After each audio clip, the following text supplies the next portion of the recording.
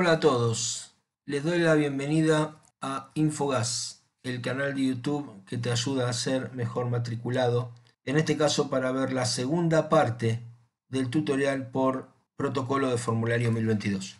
Cuando la prolongación alimenta una sala de medidores y debe cambiarse, puede suceder que el colector y los barrales existentes sean de caño galvanizado. Para este caso, se debe evitar cambiar esta configuración, siempre y cuando todo el cuadro no tenga ningún tipo de pérdida.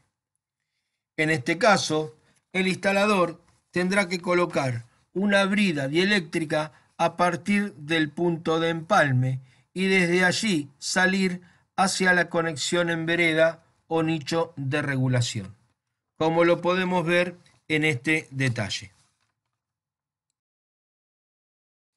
En esta imagen podemos ver el detalle de una brida colocada. Aquí tenemos el elemento principal que es la brida compuesta de dos elementos. La unión entre las bridas se realiza mediante bulones con tuerca, que también llevan su aislación. Entre ambas eh, medias bridas se intercala la junta de aislación. Por un lado, entonces, sobre la mano izquierda tenemos la cañería que viene desde la llave de vereda con hierro negro cobertura epoxi.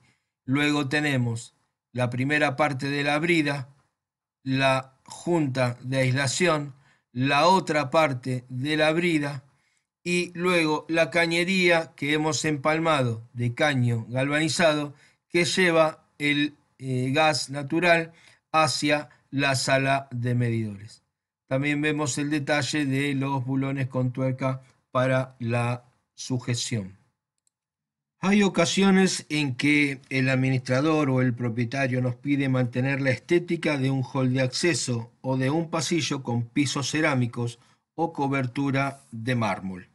Entonces, en esa situación, nos sugiere la posibilidad de llevar la prolongación en forma exterior.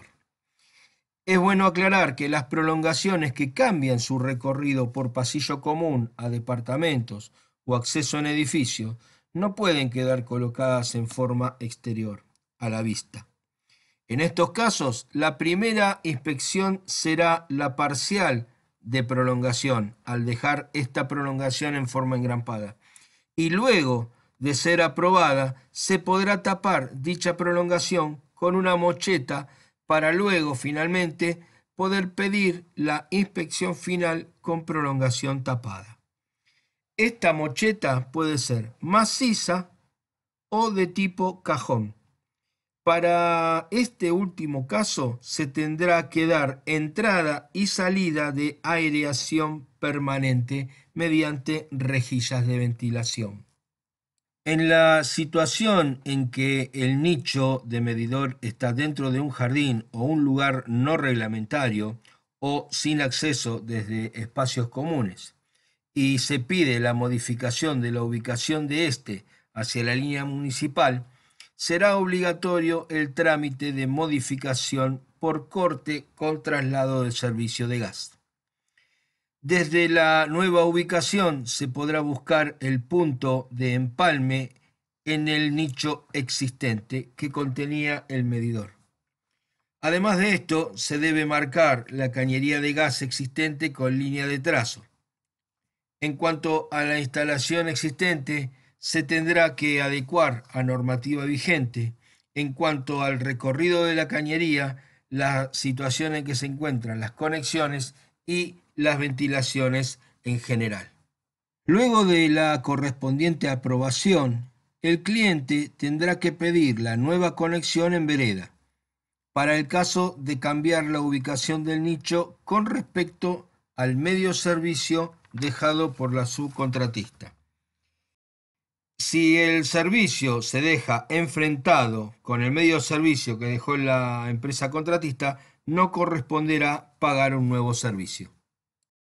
El protocolo para el caso de unidades funcionales múltiples, como puede ser propiedad horizontal o edificios con sala de medidores, marca que luego de verificar la hermeticidad de la prolongación y la ventilación de la sala de medidores, se procederá a realizar la inspección masiva, por la cual se verifican todas las cañerías internas de las unidades funcionales, como así también las conexiones de los artefactos, las rejillas de ventilación y los conductos de ventilación de artefactos, entre otros ítems. Finalmente, podemos decir que si la prolongación general no presenta ningún tipo de pérdida de presión, esto implica el empalme inmediato en vereda.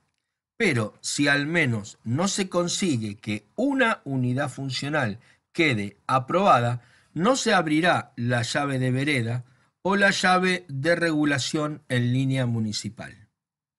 Al momento de conformar el formulario 3.5, se tendrá que colocar sobre la parte superior en el frente el número de reclamo, el número de formulario, el número de referencia, si es que se tiene, y en el campo donde dice los artefactos, eh, no se colocan los artefactos colocados, sino que se coloca la frase trabajos realizados. Finalmente, aquí les dejo algunos ítems de trabajo generales y otros puntuales a la hora de confeccionar el formulario 3.5 para presentar junto con el formulario 1022. Y bien, finaliza aquí un nuevo video tutorial referido a la segunda y última parte del protocolo por formulario 1022. Gracias por ver este video. Soy Eduardo Brea y los espero en Infogas, el canal de YouTube que te ayuda a ser mejor matriculado con el apoyo de Adigas Quilmes. Los espero. Gracias.